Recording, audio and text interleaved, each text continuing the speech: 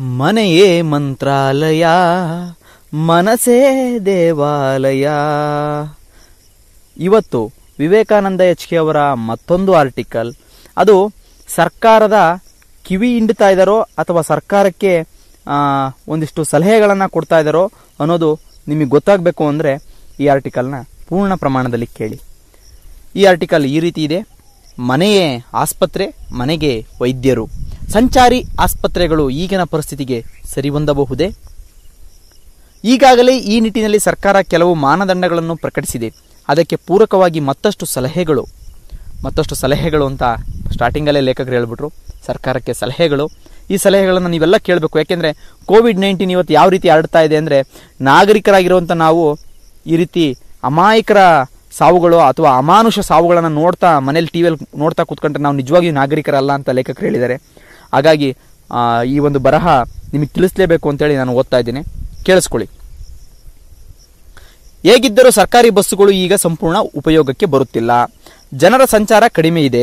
ಈ ಬಸ್ಸುಗಳಲ್ಲಿ ಕೆಲವನ್ನು ಸಂಚಾರಿ ಆಸ್ಪತ್ರೆಗಳಾಗಿ ಪರಿವರ್ತಿಸಿ, ಒಬ್ಬ ಡಾಕ್ಟರ್ ಮತ್ತು ಇಬ್ಬರು ಸಹಾಯಕರ ಸಮೇತ ಸಾಕಷ್ಟು ಅವಶ್ಯಕ ವೈದ್ಯಕೀಯ ಪರಿಕರಗಳೊಂದಿಗೆ ಹತ್ತು ಹದಿನೈದು ಕಿಲೋಮೀಟರ್ ಅಂತರದಲ್ಲಿ ಒಂದು ಮೈದಾನದಂತಹ ಪ್ರದೇಶದಲ್ಲಿ ನಿಯೋಜಿಸುವುದು.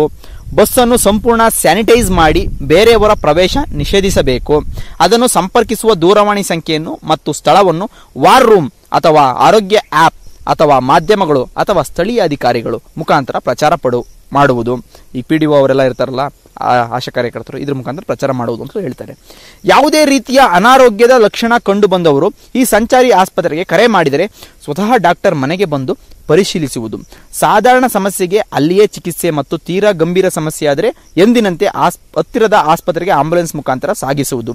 ಆ ನಿರ್ಧಾರವನ್ನು ಡಾಕ್ಟರ್ಗಳೇ ಕೈಗೊಳ್ಳಬೇಕು. ಗಸ್ತು ಪೊಲೀಸರ ಸಹಾಯ ಸಹ ಪಡೆಯಬಹುದು. ಆಸ್ಪತ್ರೆ ಮನೆಯೇ ಆಸ್ಪತ್ರೆ, ಮನೆಗೆ ವೈದ್ಯರು ಎಂಬ ಪರಿಕಲ್ಪನೆ ಇಂದಿನ ಅತಿಯಾದ ಜನಸಂಖ್ಯೆ ಹೊಂದಿರುವ ನಗರಗಳ ಕೊರೋನಾ ಸಂಕಷ್ಟದ ಸಮಯದಲ್ಲಿ.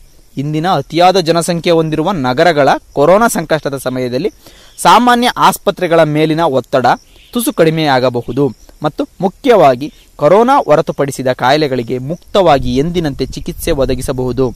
ಈಗಿನ ವರದಿಯಂತೆ ಕೊರೋನಾಗಿಂತ ಇತರ ಕಾಯಿಲೆಗಳಿಂದಲೇ ಚಿಕಿತ್ಸೆ ದೊರೆಯದೆ ಜನ ಸಾಯುತ್ತಿದ್ದಾರೆ.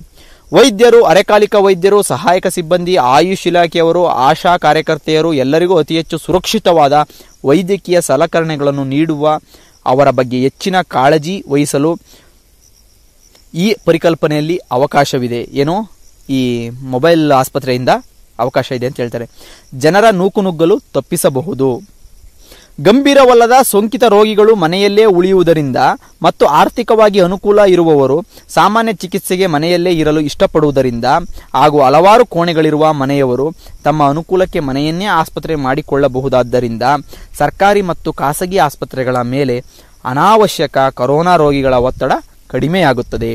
ಮತ್ತೆ ಈ ಮುಖಾಂತರ ಕೊರೋನಾ ಆಸ್ಪತ್ರೆ ಮತ್ತು ಇತರ ಆಸ್ಪತ್ರೆಗಳನ್ನು ಪ್ರತ್ಯೇಕಗೊಳಿಸಿದರೆ ಅದರಿಂದ ಸಾಮಾನ್ಯ ರೋಗಿಗಳಿಗೆ ತುಂಬ ಅನುಕೂಲ ಆಗುತ್ತದೆ. ಜೊತೆಗೆ ಕೊರೋನಾ ಚಿಕಿತ್ಸೆಯಲ್ಲಿ ವಯಸ್ಸು ಒಂದು ಮಾನದಂಡವಾಗಬಾರದು. ಕಾರಣ ಎಷ್ಟೋ ಬಾರಿ ವಯಸ್ಸಾದವರು ತುಂಬ ಗಟ್ಟಿಯಾಗಿಯೂ ಯುವಕರು ದುರ್ಬಲ ದೇಹವನ್ನು ಹೊಂದಿರುತ್ತಾರೆ.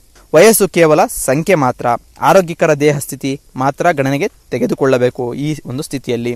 ಹಾಗೆಯೇ ಶವ ಸಂಸ್ಕಾರಕ್ಕೂ ಪ್ರತಿ ಏರಿಯಾದಲ್ಲಿ ಅದಕ್ಕೆ ಅವಶ್ಯಕವಾದ ಸುಸಜ್ಜಿತ ವಾಹನ ನಿಯೋಜಿಸಿ, ಅತ್ಯಂತ ಕಡಿಮೆ ಜನರು ಮತ್ತು ಕಡಿಮೆ ಖರ್ಚಿನಲ್ಲಿ ಒಂದೇ ವಾಹನದಲ್ಲಿ ಅವರ ಹತ್ತಿರದ ಬಂಧುಗಳು ಹೋಗಿ ಶವ ಸಂಸ್ಕಾರ ಮುಗಿಸಿ ವೈದ್ಯಕೀಯ ಮುಂಜಾಗರೂಕತೆಯೊಂದಿಗೆ ಹಿಂದಿರುಗುವಂತಿರಬೇಕು. ಇದು ಜನರಿಗೂ ಒಂದು ರೀತಿಯ ಮಾನಸಿಕ ಸಮಾಧಾನ ನೀಡಬಹುದು. ಶವ ಸಂಸ್ಕಾರದ ಗೊಂದಲಗಳಿಗೂ ಪರಿಹಾರವಾಗಬಹುದು. ಇದಕ್ಕಾಗಿ ಸ್ವಲ್ಪ ಹೆಚ್ಚು ಉದ್ಯೋಗಿಗಳ ಅವಶ್ಯಕತೆ ಇರುತ್ತದೆ. ಹೇಗಿದ್ದರೂ ಈಗ ನಿರುದ್ಯೋಗ ಹೆಚ್ಚಾಗಿದೆ. ಪ್ರಧಾನಮಂತ್ರಿ ಉದ್ಯೋಗ ಖಾತ್ರಿ ಯೋಜನೆಯ ಅಡಿಯಲ್ಲಿ ತಾತ್ಕಾಲಿಕವಾಗಿ ಒಂದಷ್ಟು ಜನರಿಗೆ ಉದ್ಯೋಗವನ್ನು ಕಲ್ಪಿಸಿದಂತಾಗುತ್ತದೆ. ಸಣ್ಣ ತರಬೇತಿಯ ಮುಖಾಂತರ ಸರ್ಕಾರಿ ಕಾರ್ಯಕರ್ತರ ಪಡಿಸಬಹುದು ಎಲ್ಲಕ್ಕಿಂತ ಮುಖ್ಯವಾಗಿ ಜನರಿಗೆ ಸಕಾಲದಲ್ಲಿ ವೈದ್ಯಕೀಯ ನೆರವು ಸಿಗುತ್ತದೆ ಎಂಬ ಭರವಸೆ ಮೂಡಿದರೆ ಅವರಲ್ಲಿ ಖಂಡಿತ ನವೋಲ್ಲಾಸ ಮೂಡುತ್ತದೆ. ಇತ್ತೀಚಿನ ಅವ್ಯವಸ್ಥೆಯಿಂದ ಉಂಟಾದ ನಿರಾಸೆ ಮಾಯವಾಗಿ ಆತ್ಮವಿಶ್ವಾಸ ಹೆಚ್ಚುತ್ತದೆ. ತಮ್ಮ ಎಂದಿನ ಇತರೆ ಕಾಯಿಲೆಗಳಿಗೆ ಮಾಮೂಲಿನಂತೆ ಅವರವರ ಆಸ್ಪತ್ರೆಗಳಲ್ಲಿ ಧೈರ್ಯವಾಗಿ ಚಿಕಿತ್ಸೆ ಪಡೆಯಬಹುದು. ಇದು ಒಂದು ಸಲಹೆ ಮಾತ್ರ. ಆಡಳಿತ ಮತ್ತು ವೈದ್ಯಕೀಯ ಪರಿಣಿತರು ಕುಳಿತು ಯೋಚಿಸಿದರೆ ಮತ್ತಷ್ಟು ಸುಧಾರಣೆಯ ಹೊಸ ವಿಚಾರ ಒಳೆಯಬಹುದು ಅಂತ ಲೇಖಕರು ತಮ್ಮ ಸಲಹೆಯನ್ನು ಹೇಳಿದ್ದಾರೆ.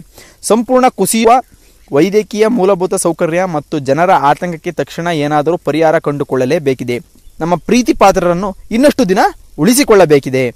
ನಾವು ಎಷ್ಟೇ ಮಾತನಾಡಿದರೂ ಇದು ಕೇವಲ ಸರ್ಕಾರದಿಂದ ಮಾತ್ರ ಸಾಧ್ಯ. ದಕ್ಷ ಮತ್ತು ಪ್ರಾಮಾಣಿಕ ಸರ್ಕಾರ ಇದಕ್ಕೆ ಪರಿಹಾರ ಒದಗಿಸಬಲ್ಲದು. ರಾಜ್ಯದ ಎಲ್ಲ ಸಂಪನ್ಮೂಲ ಮತ್ತು ಅಧಿಕಾರ ಕೇಂದ್ರೀಕೃತವಾಗಿರುವುದು ಸರ್ಕಾರದ ಬಳಿಯೇ ಅಲ್ಲವೇ? ನಮ್ಮೆಲ್ಲ ಟ್ಯಾಕ್ಸ್ ಹೋಗೋದು ಅಲ್ಲಿಗೆ ಅಲ್ವೇ? ಯೋಜನೆಗಳನ್ನು ರೂಪಿಸುವುದು ಮಾತ್ರ ಅದರ ಕೆಲಸವಲ್ಲ. ಅಥವಾ ಮಾಧ್ಯಮಗಳನ್ನು ಮೆಚ್ಚಿಸುವುದು ಮಾತ್ರವಲ್ಲ. ಅದರ ಅನುಷ್ಠಾನ ಮುಖ್ಯ. ಕೆಲಸ ಅನುಷ್ಠಾನ ಆಗಬೇಕು, ಕೆಲಸ ಆಗಬೇಕು.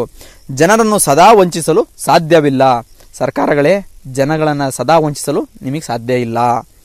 ಕೊನೆಯದಾಗಿ, ಈ ವ್ಯವಸ್ಥೆಯನ್ನು ಅಚ್ಚುಕಟ್ಟಾಗಿ ನಿರ್ವಹಿಸಲು ಒಬ್ಬ ಹೈಕೋರ್ಟ್ ನ್ಯಾಯಾಧೀಶರ ನೇತೃತ್ವದಲ್ಲಿ ಒಬ್ಬ ಹಿರಿಯ ಸರ್ಕಾರಿ ಲೆಕ್ಕ ಪರಿಶೋಧಕರು ಎಸ್ ಆಡಳಿತಾಧಿಕಾರಿ, ಆರೋಗ್ಯ ಇಲಾಖೆ ಕಾರ್ಯದರ್ಶಿ, ಹಿರಿಯ ಪೊಲೀಸ್ ಅಧಿಕಾರಿ, ಹಣಕಾಸು ಇಲಾಖೆ ಮತ್ತು ಸಾರ್ವಜನಿಕ ಸಂಪರ್ಕ ಇಲಾಖೆ ವಕ್ತಾರರಿರುವ ವಕ್ತಾರರಿರುವ ಒಂದು ಸಮಿತಿ ರಚಿಸಿ ಸುಸಜ್ಜಿತ ಕಚೇರಿ ಒದಗಿಸಬೇಕು.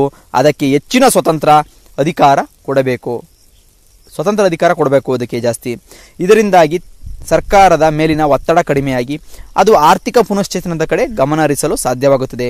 ಹೇಗೆ ಪುನಶ್ಚೇತನ ಮಾಡೋದು? ಟ್ಯಾಕ್ಸ್, ಇನ್ನೊಂದು ಆರ್ಥಿಕ ಅಭಿವೃದ್ಧಿ ಹೇಗೆ ಮಾಡೋದು ಅಂತ ಸರ್ಕಾರ ಗಮನ ಹರಿಸ್ಬೋದು. ಮಂತ್ರಿಗಳು ತಮ್ಮ ಎಂದಿನ ಕೆಲಸವನ್ನು ನಿರ್ವಹಿಸಬಲ್ಲರು. ಈಗೆಲ್ಲ ಮಂತ್ರಿಗಳು ಕೊರೋನಾ ಅಂತೇಳಿ ಸುಮ್ ಕೂರಂಗಾಗಿದೆ. ಖಂಡಿತವಾಗಿ ದಕ್ಷ ಸರ್ಕಾರ ಮಾತ್ರ ಉಳಿದಿರುವ ಏಕೈಕ ಆಸರೆ. ದಕ್ಷ ಸರ್ಕಾರ ಬೇಕು ಅನ್ನೋದು ಮಾತ್ರ ಏಕೈಕ ಆಸರೆ ಆಗ್ತದೆ. ಸರ್ಕಾರ ನಿರ್ಲಕ್ಷಿಸಿದರೆ ನಮ್ಮ ರಕ್ಷಣೆಗಾಗಿ ನಾವೇ ಬೀದಿಗಿಳಿಯುವ ಸಂದರ್ಭ ಬರಬಹುದು. ರಸ್ತೆಯಲ್ಲೇ ಜನ ಸಾಯುವುದನ್ನು ನೋಡುತ್ತಾ ಮನೆಯಲ್ಲಿ ಕುಳಿತುಕೊಳ್ಳುವ ಜನರನ್ನು ನಾಗರಿಕರು ಎನ್ನಲಾಗದು. ಯಾವುದಕ್ಕೂ ಸಿದ್ಧವಾಗಿರ್ರಿ. ನೋಡ್ರಿ, ಎರಡು ತಿಂಗಳಿಂದ ಇದ್ದ ಪರಿಸ್ಥಿತಿ ಇವತ್ತಿಲ್ಲ.